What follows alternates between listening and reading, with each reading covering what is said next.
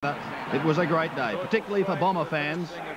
And the Hawks too should be pretty happy with their performance as umpire Glenn James, a wave to the crowd, and the season is away.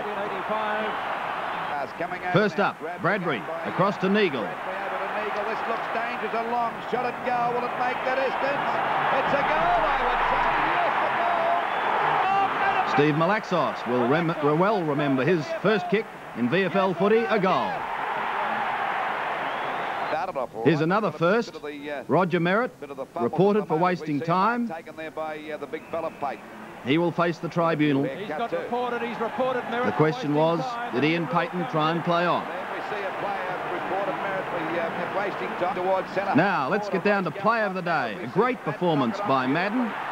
Look at the recovery of the big man as Danaher gets a bad bounce, but in swoops Madden like a rover and puts it through.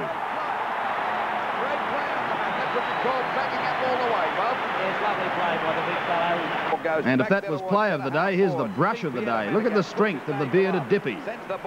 Just pushes Neagle away. And goals. So it's Essendon, four goals, four, 28. Does it. And could we call this perhaps the miss of the day? Matthews to Curran, five metres out, across the face and one behind. And what about the throw of the day? Merrett off, throws it out, picked up by Harvey. Goal coming up, yes, he's got it, I think it's full. The shocking kick. Or the leap of the day from Malaxos. But no, it is not paid a mark. Oh, I reckon that was a mark if I've ever seen one.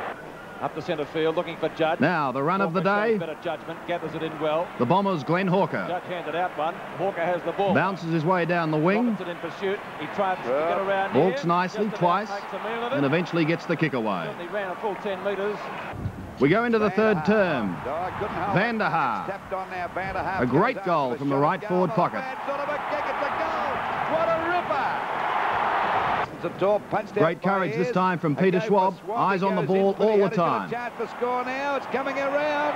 It's a goal. It's a goal to them. Into this last And back come the Hawks. Knocked out over to Abbott taps down to. Matthews. Always dangerous in front. Has he put it? Yes, it's a goal. The Bombers only kicked one goal in the final term, and again it was the Flying Dutchman, Paul van der Haar, coming in to take a great mark, And that's really been the difference. steadies, The accuracy is the thing from here. If he and seals the game for the Bombers. They're safe. So Essendon And perhaps the banners say it all. Style from the Dons in 85. 114 to 100 as we enter the time. Fun Factory, the happy place. Open every day from noon. The Fun Factory, corner of... The coach going Here's another one from Brereton. the game. A great mark to Brereton. The Bombers, Simon Madden. Just too much height.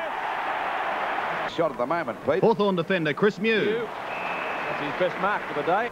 Back to the Bombers, the Kicking with a Flying strong Dutchman. The breeze this first for. Paul van der Umpire has paid the mark. And the second for Paul van